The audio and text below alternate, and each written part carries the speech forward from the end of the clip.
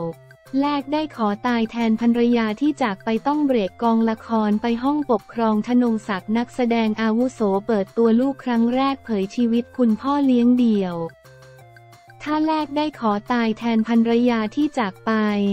เรียกได้ว่าหน้าตาดีทั้งบ้านสำหรับครอบครัวของธนงศักดิ์สุภการ นักแสดงอาวุโสที่มากด้วยฝีมือที่นอกจากบทบาทในการแสดงจะทำให้ทุกคนรู้จักแล้ว แต่อีกหนึ่งภาพจำคือ นักวิ่ง ส่วนอีกมุมหนึ่งที่หลายคนยังไม่รู้ เพราะเขาคือคุณพ่อเลี้ยงเดี่ยว สูญเสียภรรยาไปด้วยโรคมะเร็งตั้งแต่ปี 48 และล่าสุดก็ได้พาลูกชายลูกสาวปันปันเพชรและเปี่ยมเปี่ยมรักมาออกรายการคุยแซบโชว์ทางช่องวัน 31 เผยอีกมุมของพ่อที่ต้องเลี้ยงลูกสามคนที่แตกต่างกันมากรวมไปถึงการแต่งงานกับสาวรุ่นลูก อายุห่างกันเกือบ 20 ปีคุณพ่อเลี้ยงเดี่ยวมากี่ปีแล้ว ทนงศักดิ์ คุณแม่เขาเสียตั้งแต่ปี 48 แต่พอคุณแม่เริ่มป่วยตอนปี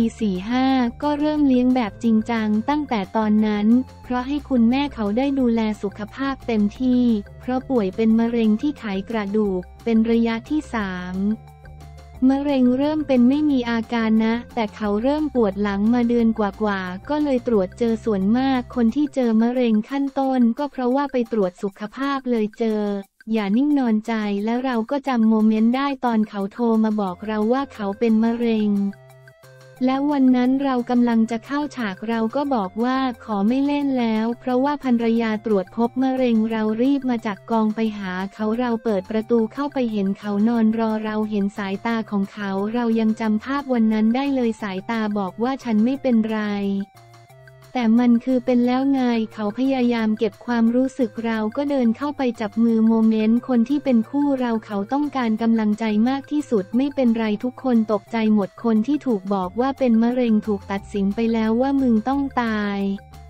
ไม่มีสิทธิมีชีวิตอยู่ คุณหมอก็ยังไม่ได้บอกว่าเป็นอะไรแน่นอน แต่พอตรวจเจอจิตมนุษย์ มันก็ตกและพอไปตรวจอีกหมอก็บอกว่าเป็นเยอะแล้วอยู่ไม่เกิน 6 เดือน และการที่หมอบอกแบบนี้เราก็อย่าไปเชื่อ เราต้องเชื่อตัวเราเอง แต่เรายังไม่ได้บอกลูก เพราะว่าเขายังเล็กอยู่ เราค่อยๆบอกเขาวันนั้นที่แม่เป็นมะเร็งหน้าที่ของลูกคืออะไร ปัน จริงๆ ไม่ได้มีอะไรเปลี่ยนขนาดนั้นด้วยวัย ตั้งแต่เด็กเราอยู่กับพ่อ เพราะแม่เอาเราไม่อยู่เลย ถูกส่งไปอยู่กับพ่อเปี่ยม ตอนนั้นเด็กมากตอนแม่เจอ เรายังไม่ทราบว่ามะเร็งคืออะไร เราก็เลยไม่ได้ดูแลอะไร แต่เราจะทำหน้าที่ของเราให้ดีที่สุด เวลาไปเรียนเราก็ตั้งใจเรียนของเราไป ไม่ทราบว่ามะเร็งมันร้ายแรงแค่ไหน และตอนคุณแม่เสียประมาณหมู่ห้าแต่จาก 6 เดือนยื้อมาได้ 3 ปี 18 วันทนงศักดิ์ตอนหมอบอกว่าคุณเป็นมะเร็งจิตทุกคนตก เพราะประสบการณ์มันสอนเราอย่างตอนที่เราไฟดูด และบอกว่าแขนใช้ไม่ได้ แต่เราก็ทำจนแขนกลับมาใช้ได้ เราอย่าเพิ่งไปเชื่อสิ่งที่เขาบอกมาคือแค่การประเมินในส่วนหนึ่ง แต่เราต้องทำให้ดีที่สุดก่อนและวันที่เสียไป เราก็บอกลูกว่าแม่ไม่กลับมาแล้วนะ แม่ไปอยู่ที่อื่นแล้ว แต่แม่ก็ยังอยู่ในใจของเราตลอดไป วันที่ภรรยาไม่อยู่แล้วจริงๆทนงศักดิ์เรายังเคยบอกลูกเลยว่าถ้าเลือกได้ เราขอไปแทน เพราะอยากให้เขาอยู่ดูแลลูกแทนเรา ไม่ใช่ว่าเรารักเขามากจนเรายอมตายแทนเขานะ แต่แค่รู้สึกว่าผู้หญิงคนหนึ่งถ้าดูแลลูก น่าจะดูแลลูกได้ดีกว่าเรา ขาดพ่อเหมือนถอหัก แต่ขาดแม่เหมือนแพรแตก เราไม่มีทางดูแลลูกได้ดีกว่าผู้หญิงที่เป็นแม่ เรามีหน้าที่ support ในเรื่องอื่น แต่พอมันเลือกไม่ได้ เราก็ต้องทำหน้าที่ให้ดีที่สุด เรียนรู้จากความเป็นแม่ ในการดูแลลูกจากเขาความรักไม่มีเหตุผลและพอสูญเสียแม่ไปแต่ทำไมเป็นนักวิ่งทั้งบ้านทนงศักดิ์เป็นคนออกกำลังกายอยู่แล้ว พอใช้เวลาคลุกคลีอยู่กับความเจ็บป่วยของภรรยา เราเห็นคนป่วยอยู่โรงพยาบาลไม่มีใครอยากป่วยหรอก และเราก็บอกลูกๆว่าเราควรต้องทำนะ เราทำให้เขาเห็นเวลาลูกไปงานสิทธิ์เก่ากับพ่อ เห็นเพื่อนเพื่อนพ่อแล้วไม่อยากเป็นแบบนี้ เราต้องคายตะขาบให้เขาก่อนเขามีสุขภาพดีความล้มเหลวไม่มีอยู่จริงการที่มีสุขภาพดีคือมีอยู่จริงเปี่ยม อย่างเราเพิ่งไปตรวจสุขภาพมาแล้วหมอบอกว่าเรามีเซลล์ผิดปกติ เราตกใจมากและคุณพ่อก็เลยพาไปตรวจอีกโรงพยาบาลหนึ่ง สุดท้ายแล้วมันก็ไม่มีอะไร เป็นแค่เซลล์ผิดปกติแต่ไม่ได้ลุกลามอะไร เราไปตรวจมะเร็งปากมดลูก และมันมีรอยโรคมะเร็ง คิดดูยายก็เป็นแม่เป็นทนงศักดิ์ถามว่าเราตกใจไหม เราก็ตกใจแต่เขาสามารถจัดการกับใจเขาได้เอง เขาไปวิ่งได้ไปทำงานได้ตรงนี้เลยทำให้เห็นการออกกำลังกาย มันทำให้เขาแข็งแรงเขายอมรับได้ เขาก็บอกว่าป่วยก็รักษาส่วนลูกชายล่ะ เป็นคนสร้างเรื่องที่สุดในครอบครัวไหม ทนงศักดิ์เรียกว่าเขาทำให้เราเรียนรู้ดีกว่า หลายเรื่องเลยในพื้นที่ที่เราคิดว่าเราไม่เคย แต่เราต้องไปเราควรจะอยู่ในห้องกิจกันมากกว่าห้องปกครอง ไปทุกอาทิตย์ปัน หนักมากครับ ยอมรับว่าอะไรที่ไม่ดี ผมทำหมดเลยนะเริ่มตั้งแต่หลังแม่เสีย เราก็เริ่มแล้วเป็นลูกคนกลางพี่น้องคือได้สี่ตลอด ส่วนเราคือไม่เคยถึงหนึ่งเอาแค่ 0.8 ให้ได้ก่อนเราไม่เวิร์กทางนี้นะ แต่คือจริง ๆ เราชอบอ่านการ์ตูนเล่นเกม ถ้าเป็นยุคนี้คือมันใช้เป็นอาชีพ แต่ตอนนั้นคือพ่อเลี้ยงลูกสามคน และหลังจากแม่เสียมีเหตุการณ์พอแม่เสียเพื่อนมาล้อเรื่องแม่และต่อยกันเราชนะทุกคนเห็นว่าเราโอเคมันทางของเรานี้ มีคนมาเชิดชูเราในทางนี้จากขาวไม่ได้ก็ไปดำเลย ถ้าหนักสุดก็ยาเสพติดสุดโต่งเลย เคยมีเหตุการณ์ในสมัยเด็กเป็นการทะเลาะวิวาทกันหลุดไปหน่อย มีอาวุธเรื่องไปถึงตำรวจผู้บาดเจ็บเป็นเด็ก แต่ถามว่าเรากลัวตายไหม เราคิดว่าเราโชคดี พอกลับมามองจากสายตาเราไม่ได้หลุดไปมากขนาดนั้นเราไม่ได้โหดขนาดนั้น เราตีในแบบโรงเรียนเอกชน เราสุดแบบนี้ทนงศักดิ์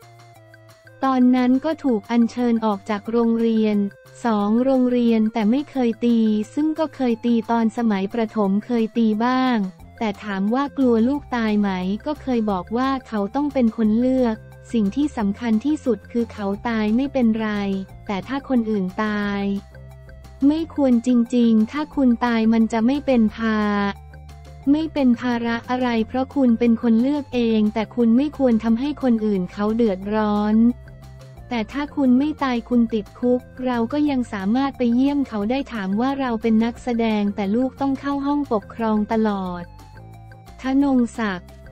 ก็ดีทำให้เราไม่มีตัวตน แต่มันคนละส่วนเราพยายามสอนเขา แต่เขาก็ต้องเรียนรู้เองไม่ได้คิดว่าจะมีส่วนกับชื่อเสียงเรา บางส่วนอาจจะมองแบบนั้น แต่ต้องยอมรับความจริงต้องอยู่กับมันและบ่อยมากต้องเบรกกองละคร ก็ต้องไปห้องปกครองสุดท้ายก็ไม่ได้โกรธโรงเรียนที่เขาเชิญออก โรงเรียนเขาไม่ได้ทำคุณคุณทำตัวเองเขาก็ทำตามกติกาปัน สิ่งที่ทำให้เราเปลี่ยนเพราะครอบครัวจริงๆพี่ชายน้องสาวเขาคิดว่าเขาไม่มีส่วนในการช่วย แต่จริง ๆ เขามีส่วนมากๆ จริง ๆ พ่อพูดมาตลอด ตั้งแต่เด็กเราเริ่มสังเกตว่าทำไมมีคนเข้าหาพ่อเราตลอด มีคนเข้ามาปรึกษาเรื่องการใช้ชีวิต การทำงานเราอยู่ใกล้เขา แต่ทำไมเราไม่เห็นเรื่องพวกนี้เลยพี่น้องเริ่มมีเงินเดือน แต่เรายังไม่มีอะไรชีวิตนี้เราไม่เวิร์กแล้วเราเริ่มหยุดตัวเอง น้องเปี่ยมมาบอกว่ามีอะไรให้ช่วย บอกได้นะ เปลี่ยนมาได้ประมาณ 8 ปีแล้วคุณพ่อรู้สึกยังไงกับการประสบความสำเร็จของลูกทั้งสามคน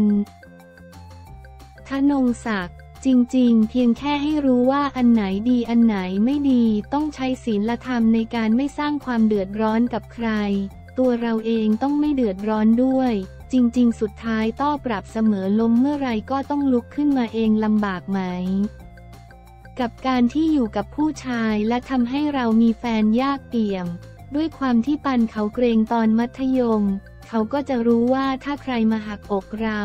เขาก็จะรู้ทันทีว่าผู้ชายคนนี้เป็นยังไง อาจจะต้องเจอเขาหรือเปล่าทนงศักดิ์ไม่ได้ห่วงอะไรการใช้ชีวิตของผู้หญิงการมีแฟนได้ไม่ใช่เรื่องผิดอย่างตอนเรียนปีแรกแรกเขากลับตีสามเราก็รอเป็นห่วงเขาสุดท้ายเราก็บอกว่าถ้าเขาต้องท้อง หรือเขาพลาดอะไรขึ้นมา แต่เราแค่เสียดายชีวิตวัยรุ่นของเขาเอง ซึ่งที่เราเข้าใจชีวิต เพราะมันเป็นความจริง ทุกคนก็เคยทำการที่คนพลาดไม่ใช่ เราต้องซ้ำเติมเราต้องให้โอกาสเราจะบอกเสมอว่าการที่เขาเป็นแบบนี้ คนอื่นเป็นก็เรื่องธรรมดาคุณพ่อแต่งงานกับสาวอ่อน 20 ปี ปัน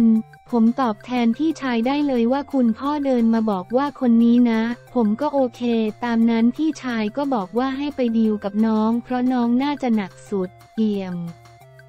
ต้องบอกว่าคนนี้ไม่ใช่คนแรกที่เป็นแฟนคุณพ่อ คนแรกๆจะไม่โอเค เราห่วงพ่อ แต่พอมีหลายๆ คนเราก็โตขึ้นด้วยมันนานด้วยคนที่ทำให้คุณพ่อแฮปปี้เราก็โอเค แล้วตอนนั้นเราก็ไม่โอเคปฏิบัติดีตลอด แต่พอเสร็จก็บอกว่าไม่โอเค แต่เปี่ยมเป็นคนเดียวที่ได้ของขวัญจากแฟนคุณพ่อ คนอื่นไม่เคยได้เลยทนงศักดิ์ เวลาชอบใครเราก็จะบอกว่าชอบฉันมีลูกนะ เปิดไปเลย ชีวิตมันควรจะเป็นคู่ก็จะสอนลูกเสมอว่าถ้าเขาไม่เลือกเรา ไม่ใช่เราไม่ดีนะ แต่เขาไม่ชอบเราเท่านั้นเอง และคำมั่นสัญญากับภรรยาคือเราจะมีใครก็แล้วแต่ แต่เราต้องดูแลลูกจนกว่าเขาจะแยกไปมีชีวิตพ่ออยากบอกอะไรลูก